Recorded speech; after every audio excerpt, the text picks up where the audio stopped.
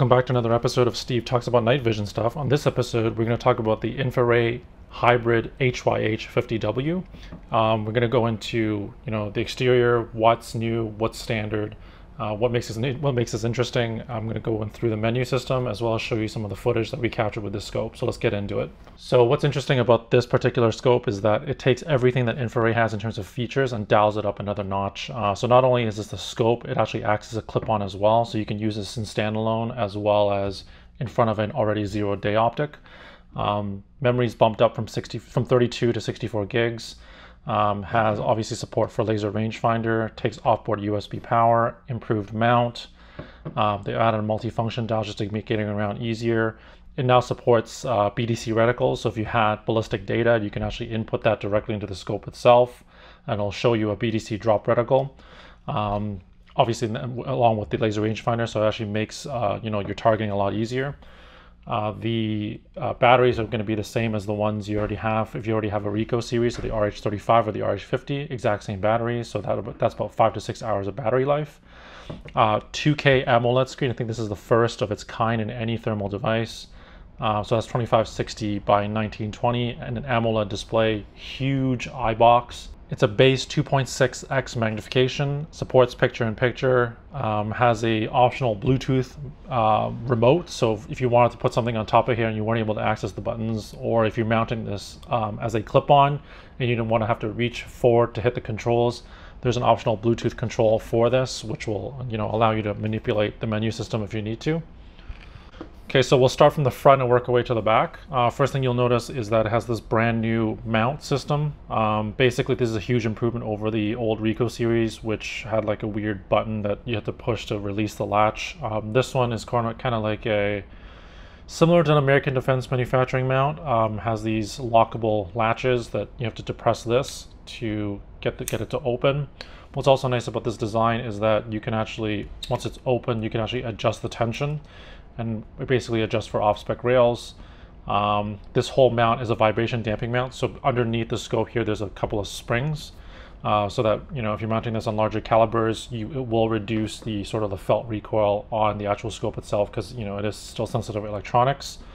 Uh, built-in recoil lug, so that you don't you know the mount doesn't shift. Again, um, you have the ability to dial in the amount, the right amount of um, tension on the actual Picatinny rail itself. Um, one thing to note is still cantilevered. So uh, what's nice about this is that, you know, you don't, what I guess on most like ARs, if you actually were to center the scope over the actual um, mounting footprint, you're going to be limited. Whereas this one, you actually, uh, the scope is cantilevered backwards towards you. So you actually have a bit more freedom as to where you would like to mount it. For those of you who are wondering if this is the same as the Rico series, the bolt hole spacing is the same. It's not, it's different. Um, as well, with regards to the actual laser rangefinder, you cannot use the Rico laser rangefinder with this. This one was going to have its own uh, LRF. Moving on to the actual scope itself, uh, this is a 50 mil lens model. Um, they also have this in a 35 mil lens model. So basically that would be the HYH 35W as, a, as opposed to the HYH 50W. Uh, so all that means is two things. One is the base magnification as well as the actual detection, recognition, identification ranges. Typically, um, with a 50 mil lens like this, you're looking at a recognition range of about two kilometers. And then when you dial it back down to a 35 mil lens, which is a smaller lens, uh, you're going down to about 1.5 kilometers in terms of a recognition range. Um, Moving back a little bit further, this is the adjustable focus wheel. It's good for, I guess, five meters all the way out to infinity. Um, from our experience, this works really, really well. It's, you know, the, the amount of adjustment is, you know, feels right. It, it's not super sensitive, like where you kind of touch it and, you know, everything's out of focus. And then what's nice about the top controls is that now they've added this multifunction dial. Um, so it makes getting around the menu system a lot easier. For those of you who've used the Rico series, uh, once you got in the menu system, it was kind of clunky because you had to navigate using only four buttons. Um, still has the four buttons here, but just in terms of kind of getting around, it's been more intuitive to just use the wheel. Uh, you can press this down, you can hold it down, which gives you the advanced menu, and we'll kind of show you the whole menu system uh, later on in this video.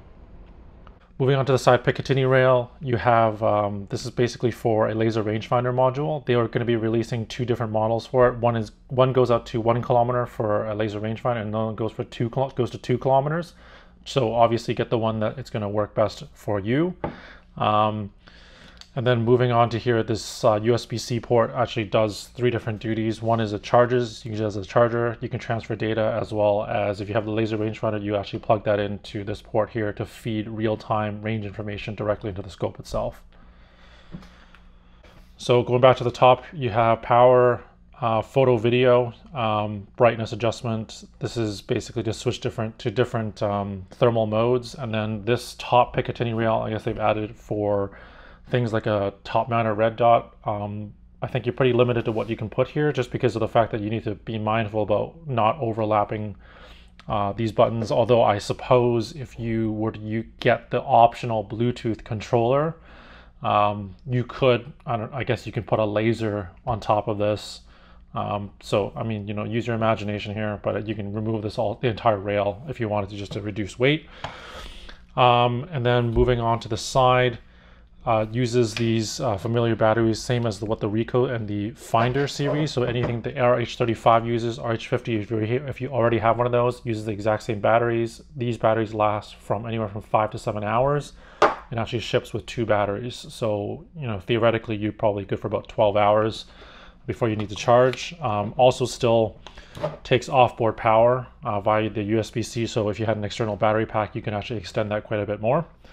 Uh, and then finally moving back, you have adjustable uh, diopter assembly. And then um, kind of basically the, the eyepiece is huge compared to um, a lot of the previous models. And but again, what's noteworthy about this scope, is it just has a 2K AMOLED screen, which is going to look and feel a lot sharper.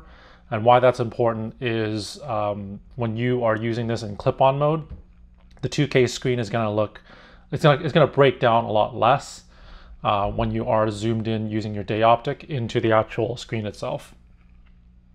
So I'm going to show you this uh, through scope screen just because there's certain things um, that you can see here um, that you can't see through the actual recorded video. So as an example, the recorded video is not going to show you this reticle, it's not going to have the top menu bar, uh, etc.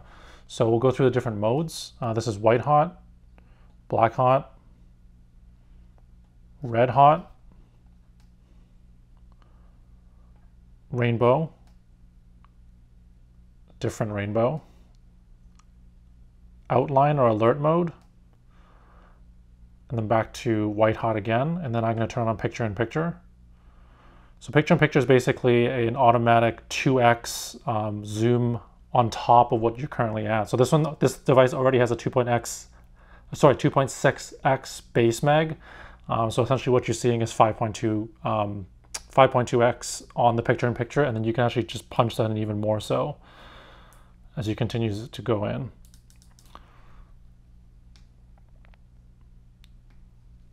And then one last thing I wanted to show you was the clip-on mode. So this is basically scope mode. And then if I hold down the camera button and the multifunction button, it goes into clip-on mode. So essentially all, all it really is, is it kind of shrinks um, the display down so that it allows you to uh, see the entire screen once your day scope is zoomed in. So to kind of go back, you just hold down the camera button and the multifunction button and then goes back to regular scope mode. This is a test of the digital zoom. Target is about three to 400 meters away. And this is 2x, 4x, 8x, as you can see at 8x, my hands are pretty shaky, but uh, if you're on a tripod, it should be pre pretty steady.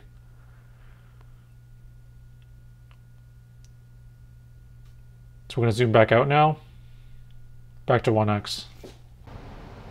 So this is just going and showing the different color modes. This is white hot, black hot, red hot, rainbow, Other rainbow. Alert mode. Also pay attention to the fact that there is a small gathering about 5 to 600 meters away um, and it's able to pick up those signatures as well. So this is white hot with picture in picture, black hot, red hot, rainbow, rainbow with the highlight. Alert mode. And then back to white hot again. So the next clip is just going to be the raw audio. Okay, this is the audio test of the HYH50W from InfiRay outside urban area. So getting into the menu system now and what it looks like through the scope itself. But there's three different menu systems. Uh, one is the shortcut menu, the other one's the main menu, and then the advanced settings. So try my best to get through everything. Um, so to actually access the quick menu, you just press down on the multifunction dial. This one is just brightness. Um, and then this one's contrast. So you'll see here, what I find best is kind of like right in the middle is probably best. Again, it depends on what you're using this for. The next one's sharpness. So if you want the image to be sharper or not, you can adjust that. So this is the fourth menu item. It's non-uniform correction. It determines whether or not you want it to be manual or automatic. Some people like it automatic because that means that this thing auto adjusts to the actual temperature of the sensor core itself um, so that you always get the absolute best image quality. Um, some people don't love that and like they said, as a manual so that you can actually set non-uniform correction manually yourself uh, so that you don't get like an interruption in the image itself. So next menu item is um, zeroing distance. So if you, for example, if you're doing your zeroing, you've set your reticle up, um, you basically come into here and if you know what distance you're setting at, you actually punch that in and that affects your ballistic data. Um, next one is the actual different types of reticles. So I kind of cycle through them. As you can see, there's quite a bit. Um, obviously no preference for me. Uh, and then you can also set the color itself. Go green, blue, red, and white and or black. I'll probably leave it at red for now. And then we'll get into the advanced menus now. Um, so basically the first one is Wi-Fi, so you can turn that on and off. Uh, next one is compass, if you wanted to turn the compass on and off. Next one's microphone, so I'll put up a little clip of the actual audio quality so you can see whether or not that's for you. Um, that enables or disables the actual onboard microphone. I think this scope has the actual the best audio quality of uh, most of the infrared devices that we've used. Um, so you can actually record, like, you know, if you're narrating or whatever, you can actually get good audio out of it. Uh, this one's automatic dormancy, so whether or not you want the scope to automatically go to sleep after, I don't know, like, then you can set the interval here. The next one, the next one is uh, photo and video settings. So if you want to do single photo, burst photo, if you want to do timer, uh, you can set that mode.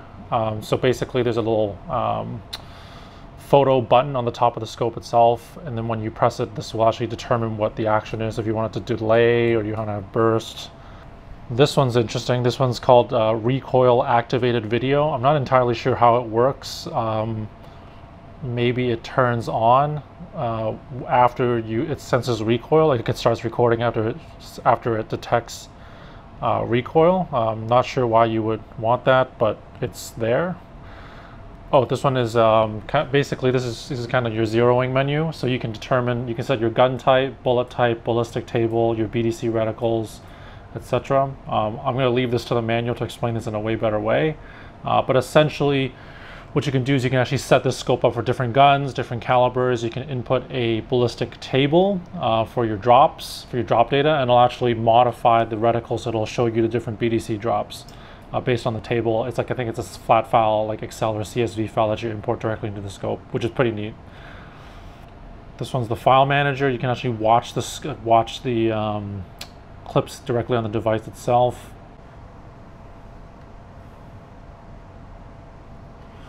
So this is now the advanced menu. So the first menu item is going to be analog video. So if you wanted to hook up like an analog uh, video recorder to this via the USB, you can do that. Next is Bluetooth. So if you had the optional Bluetooth um, attachment, you can enable or disable Bluetooth. This is to hide or show the, uh, the top menu bar, so the status indicator. Uh, set, set date and time.